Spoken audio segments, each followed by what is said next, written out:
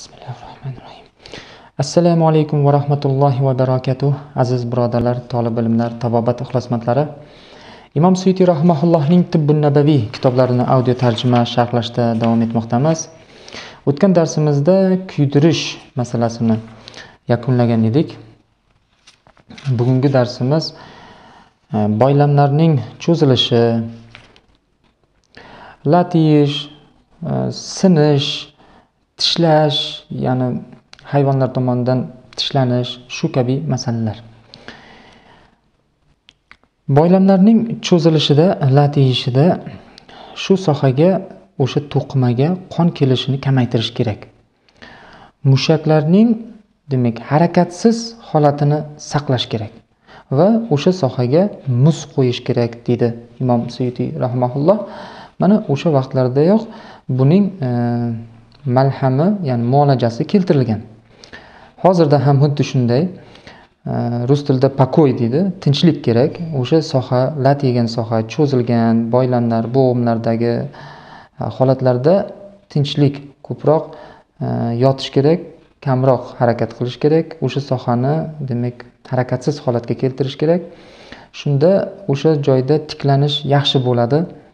Agar uni biz ezg'ilasak uni biz e, mashaqqatga qo'yib harakatga keltirsak bu demak e, unga tushadigan yuklama oshib mushaklarning cho'zilishi yana battar bo'ladi og'irlashadi. Xullas mana shu joyga sovuq demak suv yoki mana muz qo'yishlar o'sha sohada modda almashinuvni pasaytiradi qon aylanishini pasaytiradi og'riqni ham kamaytiradi. E, mana shunday muolajalar qilish kerak bo'ladi. Jobir roziyallohu anhu aytadilar bir kuni men rasululloh sollallohu alayhi vasallamning e, yonlariga yon tomonlariga biqin soha bo'lishi mumkin. E, o'sha sohalariga banka qo'ydim. Ya'ni o'sha tortiq qortiq qilib qo'ydim. O'sha joyda boylamlari cho'zilgan edi deydilar. Ushbu hadisni abu dovuddan keltirilgan. Ya'ni bu yerda banka qo'yish deyilganda o'shani ichiga e, havosini tortib olov bilan bir e, havosini ketkazib tortishda o'sha joyga e, demak qon aylanishini yaxshilashga qaratilgan lekin bu banka qo'yilganda o'sha joyga yaxshilashga qaratiladi. Endi bu yerda demak yuqoridagi gapga teskari emasmi? Qon aylanishini pasaytirishimiz kerak edi deyilsa boshlang'ich vaqtida shunday qilinadi.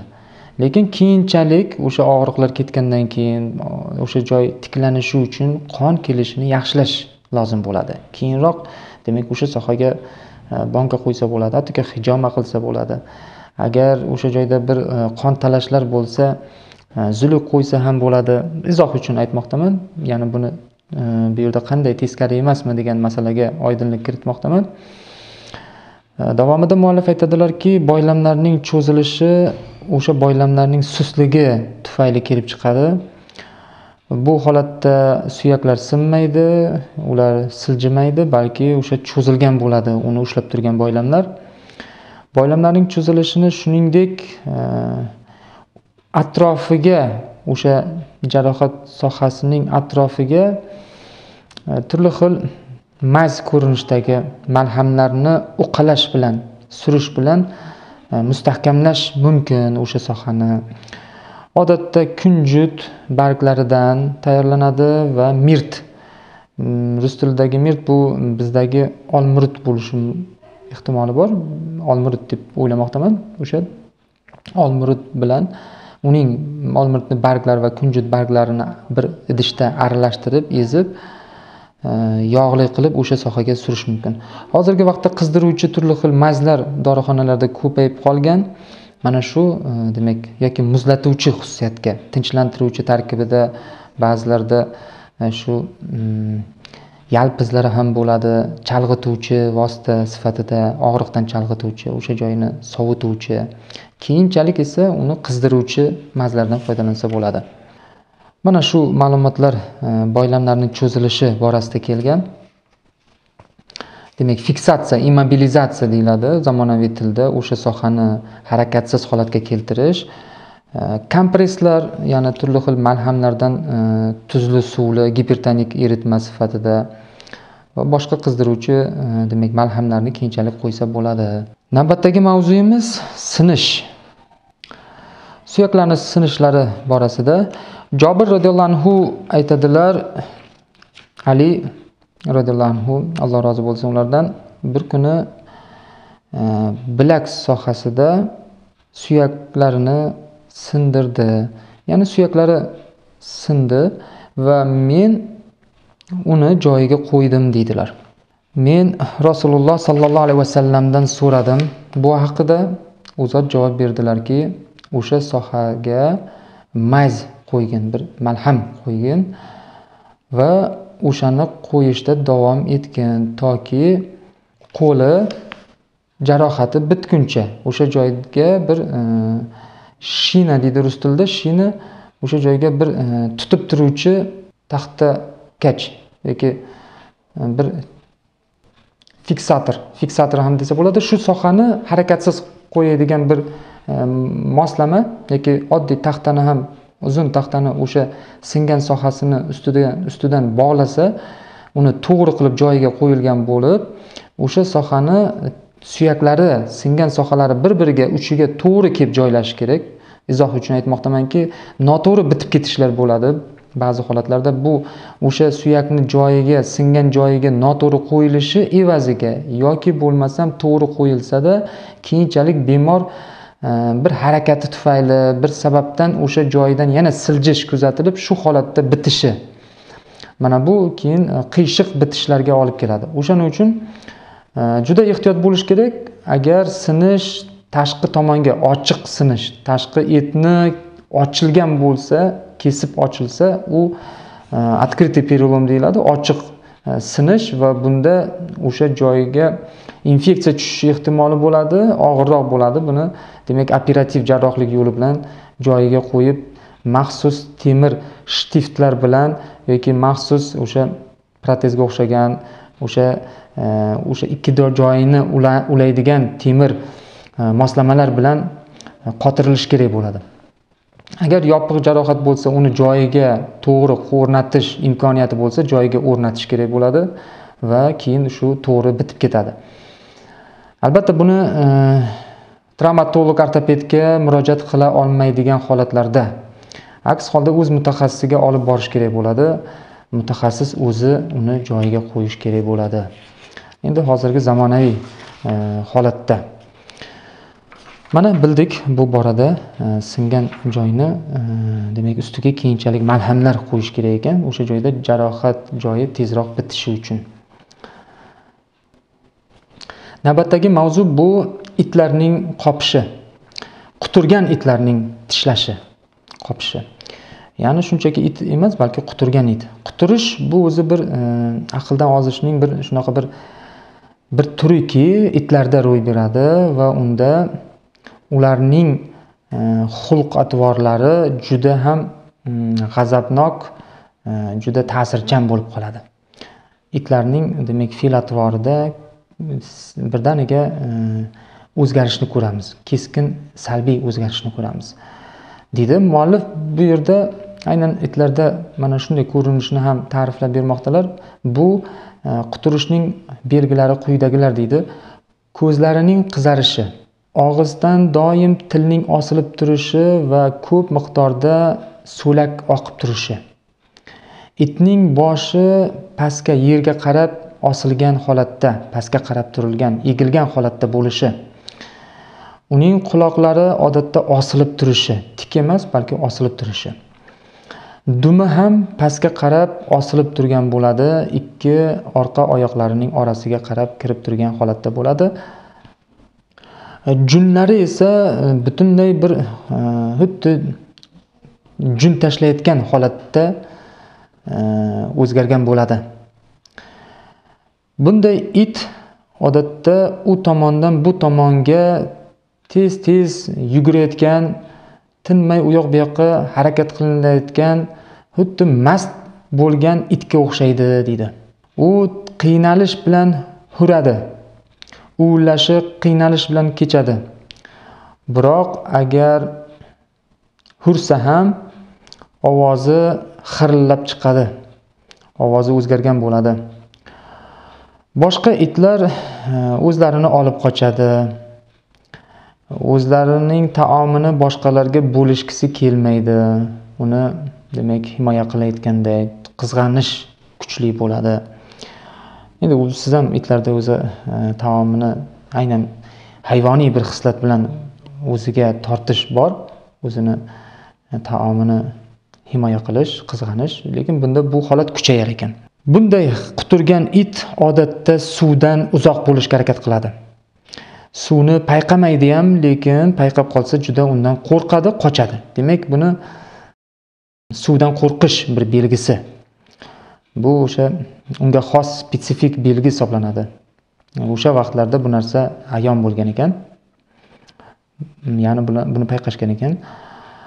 U har qanday ko'zga ko'ringan kishiga tashlanishi mumkin. Uni demak qopishi mumkin unga tashlanish hujum qilishi mumkin. Demak mana shunaqa agressiv holatga keladi. Agar ushbu quturgan it biror kimni tishlab olsa o'sha insonda xuddi shu belgilar itdagi ko'ringan quturgan itdagi belgilar namoyon bo'ladi deydilar. Kasallik o'sha jarohat olgan kishilarda eng og'ir toifadagi kasalliklardan biridir. Ya'ni bu quturish kasalligi og'ir toifadagi kasalliklardan biridir. Mavjud bo'lgan kasalliklar ichida. Suv bunday bemorni jumbushga keltiradi qo'rqinchga dahshatga keltiradi. Suvdan juda qo'rqadi. Qayerda uni sezmasin undan juda kuchli qo'rqinch paydo bo'ladi. U u yoq bu yoqqa qo'rqinchdan o'sha bemor inson tishlangan quturgan inson u yoq bu yoqdan yugurib boshlaydi qo'rqinchdan. Unga biror kishi yaqinlashayotganini ko'rsa mana shu holatga tushadi. Agar u oynaga qarasa o'zini yuzini itning basharasini ko'rgandek bo'ladi. Ajib. Demak mana shu narsalarni e, o'sha vaqtlarda payqashgan. Oxirgi iborani hozirgi zamonda e, bunday belgini eshitmagan bo'lsamda balki o'sha ruhiyatdagi o'zgarishlar tufayli shu holat kelib chiqar. Allohu alam. Rasululloh sollallohu alayhi vasallam agar quturgan it o'zining burnini yoki so'lagini shu bir idishga yaqinlashgan bo'lsa tegizgan bo'lsa o'sha idishni yetti marta yuvib tashlanglar. Bir martasida yer bilan yuvib yuboringlar ya'ni tuproq bilan degan ma'noda. Mana shu narsani aytgan ekanlar rasululloh alayhissalom bu bejizga emas ekan. Mana boshqa bir lafzda esa ushbu hadisda yetti marta yuvinglar birinchisini yer bilan tuproq bilan. Ya'ni birinchi martasi yuvishni tuproq bilan amalga oshiringlar keyin qolganini suv bilan degan ma'no. Ya'ni tuproqda o'sha e, demak e, biz mana hozirda aniqlagan infeksiya e, o'sha quturish infeksiyasi ketadi tuproq bilan yuviladi. Xuddi shunga o'xshash xuddi shu hadisda keladiki quturish zahari so'lak orqali o'tadi. Qachonki o'sha e, quturgan itning burnidan idishga uning so'lagi oqadi. O'sha zahar e, so'lak orqali o'tib Э, xuddi shu xuddi shu usulda u idishdan keyin insonning tanasiga o'tadi. Xuddi shu so'lak e, tishlangan insonning tanasiga o'tadi. Bu yerda mana shu ma'no. Tishlanganda ham xuddi shu so'lak o'tadi. Demak o'sha vaqtlarda e, bu so'lak asosiy omil ekanligini e, tajribada amaliyotda e, demak kuzatuv asosida aniqlangan.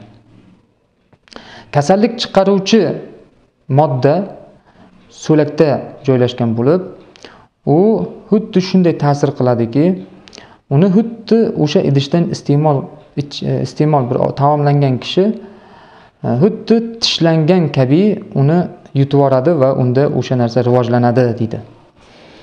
E, xuddi shu sababdan rasululloh alayhissalom mana shu idishlarni yuvishga buyurganlar. Agar itning so'lagi tushgan bo'lsa mana shu narsani yuqtirishni oldini olish maqsadida deydilar.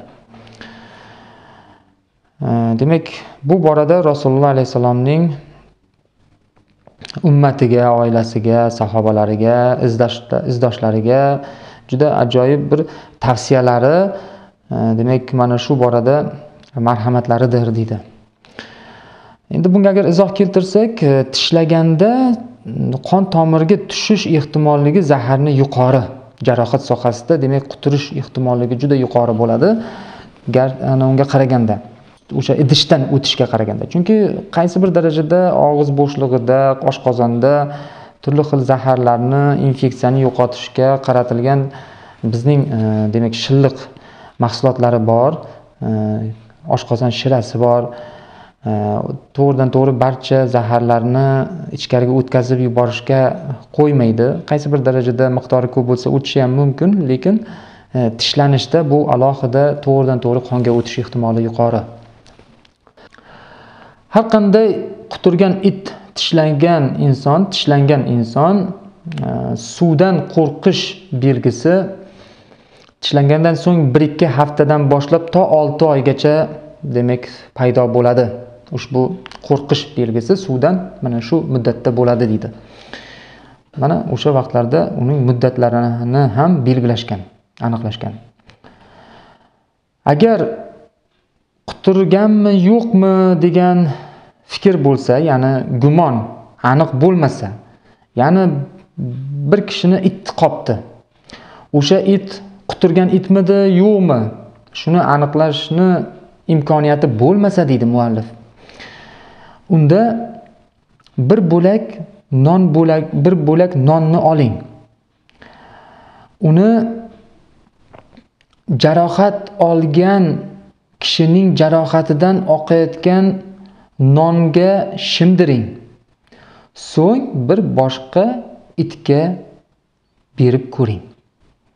Agar u it o'sha nonni iste'mol qilsa unda tishlangan inson yoki aniqrog'i insonni tishlagan it quturgan emasdir. Quturgan emas. Biroq agar u o'sha nonni qonga botirilgan belangan nonni iste'mol qilishdan voz kechsa iste'mol qilmasa unda tishlagan it quturgandir deydi. Ajib. Mana shu fikr mulohazaga hozirdagi zamonaviy tabiblarimiz shaxsan o'zim misol uchun e, bu fikrga kelishim qiyin edi. E, zamonaviy usullar bor hech bo'lmaganda borib o'sha e, quturishga qarshi emlashni olaman qo'yaman deyishi mumkin. Chunki quturgan it tishlanganda yagona chora bu emlash deyiladi hozirgi zamonaviy mm, tibbiyotda. Unda ham o'sha itni topish lozim bo'ladi. Agar topilmasa birdaniga emlashni olinadi. Agar u it topilsa qopgan it ahvoli yaxshi bo'lsa va xalqda aytadiki xalqda ham bu narsa bor e, o'n kun davomida it o'zini yaxshi his qilsa uni nazorat qilinadi. Demak it quturmagan bo'ladi va emlash olmasa ham bo'ladi deyishadi. Agar o'n kun ichida it o'lib qolsa unga bir korhol bo'lib qolsa unda emlash Э, quturishga qarshi emlashni boshlash lozim bo'ladi deyiladi. Bu xalqda ham mm, xalq tabobatida ham mashhur.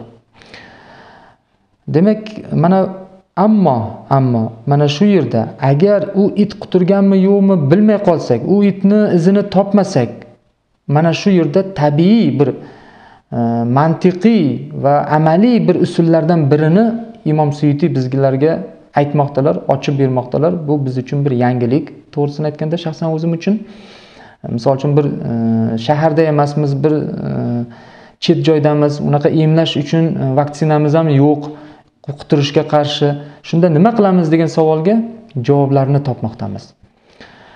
Mana birinchi o'rinda mana shu usulda jarohat olgan joydagi qonni nonga botirib boshqa itga berib ko'ramiz. Iste'mol qilsa demak u quturmagan. Iste'mol qilmasa demak u quturgan bo'ladi va endi nima qilamiz degan savol paydo bo'ladi. Agar e, emlash imkoniyati bo'lsa hozirgi zamonda emlanadi. Ammo vaksina bo'lmasachi degan savolga navbatdagi e, matnda imom suyutiy shuni ochmoqdalar. Davolash uchun o'sha tishlangan sohani kesib olish kerak. So'ng o'sha joyga banka qo'yish kerak.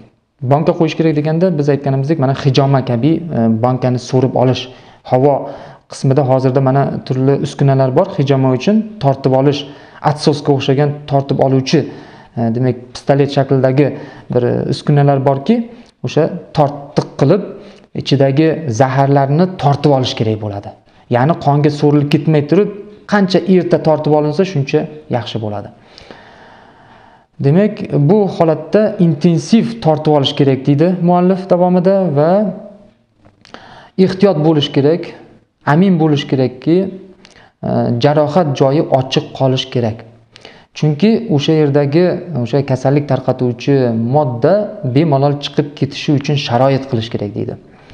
Bu narsa hozirda ham ma'lum. Hozirgi zamonaviy tibbiyotda ham jarohat joyini ochib qo'yish kerak bo'ladi deyiladi. O'sha keraksiz hamma xiltlar bemalol chiqsin va uni tikishni ham e, ikkilamchi jarohat sifatida tikib bo'lmaydi. O'sha joy yiringlash ehtimoli bo'lgani uchun u yerga infeksiya tushgani uchun. Ochiq holatda bitish amaliyotini e, bitish jarayonini kuzatish kerak bo'ladi. Muolaja qilish kerak bo'ladi. Bemorga esa ko'proq e, arpa iste'mol qilish va tinchlik ya'ni yotish mm, pokoy deyiladi. O'shanga rioya qilish kerak bo'ladi deydilar. Ba'zida tishlangan insonning demak peshobida g'alati bir kichkina kichkina bo'lakchalar paydo bo'ladi aniqlanadi. Birozgina kichkina kichkina kuchukchalarga o'xshaydi deydilar. Endi bunga bir e, izoh berishim qiyin. E, endi izoh shundaki insondagi mm, infeksion jarayon hisobiga Э, demak peshobda э, oqsillar paydo bo'lishi mumkin. Buyrakdagi filtr poralarining kengayishi uni ham jarohatlanishi organizmda shu yot jismlar ko'payishi hisobiga o'sha demak u peshobga ham chiqishi mumkin. Э, shunaqa bir ko'rinishda. Ammo uning aynan kuchuk kichkina kuchukchalar shaklida bo'lishini izohlab berolmayman balki shunaqa e, o'sha paytda shunaqa tasavvur yoki shunaqa e, ko'rinish bergandir balki shunga o'xshatilgandir. Vallohu alam.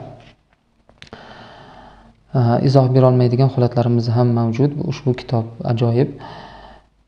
Qachonki inson bankadan demak torttirar ekan havoni ya'ni o'sha tortuvchi inson demak o'sha joyga juda ehtiyot bo'lish kerak. Og'zini bilan tortayotganda demak e, gulob suvi yog'i gul yog'ini o'sha so'rishdan oldin o'sha joyga surib qo'yish kerak deydi.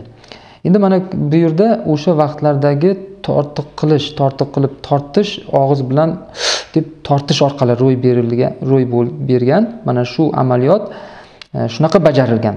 Ba'zida hayvonlarning shoxlaridan shunaqa tortiq qilish uchun maxsus narsalar yasalgan. Unaqa bizdagi bankalar bo'lmagan. Va shunaqa tortishda o'zlari nafas bilan tortgan va bunda o'sha tortib oluvchi kishiga qondan o'sha infeksion agent o'tib yuqtirib olmasligi uchun yog' surib qo'yish tavsiya berilmoqda. Hozirgi vaqtda esa turli xil mana uskunalar bor dedik. Uni og'iz bilan tortishga ham ehtiyoj yo'q. Mabodo agar shunaqa ehtiyoj bo'lib qolsa mana shu ehtiyot chorasini ko'rishlik haqida aytilmoqda. Mana e, ushbu mavzu shu joyda yakunlandi. E, quturgan itlarni tishlashi. E, ilon chaqishi va chayon chaqishlari va boshqa mavzularni keyingi darsda davom etamiz. Darsimiz ancha cho'zilibdi. Bunga bir izoh qo'shimcha berish shart emas deb o'ylayman. Quturishga qarshi emlashlar olib borilmoqda. Endi buni foyda va zararini o'lchaymiz. O'sha vaksinadan zarar ehtimoli kam bo'lsa ammo o'limga olib keladigan darajadagi og'ir quturgi kasalligidan xalos bo'lish ehtimol imkoniyati bo'lsa bu emlashni qabul qilish lozim bo'ladi. Agar o'sha quturgan it e, haqiqatdan demak aniq bo'lsa ya'ni it tishlangan holat o'sha it quturgan bo'lsa shuning uchun ehtiyot bo'lish kerak. Bir it qopsa birdaniga uni e, demak yo'q qilishga urinmaslik kerak. Bu juda katta xato bo'ladi. Imkon qadar o'sha itni parvarish qilish kerak. Garchi sizni tishlagan bo'lsa uning o'n kun davomida sog' salomat bo'lishini nazorat qilish kerak. Agar sog' salomat bo'lsa siz ham sog' salomat bo'lasiz degani. It quturmagan bo'lsa siz ham quturmaysiz degani. Mabodo it o'lib qoladigan bo'lsa demak u quturishdan o'lib qolgandir balki va sizda ham jarohat e, demak xuddi shu holatga olib kelishi mumkinligini bildiradi va bunday ehtiyot choralarini ko'rish kerak bo'ladi. Allohu alam. Xato kamchiliklar bo'lsa kaminadan e, yutuqlar bo'lsa allohning inoyatidan g'oyibona ko'rishguncha xayr deymiz. Assalomu alaykum va rahmatullohi va barakatuh.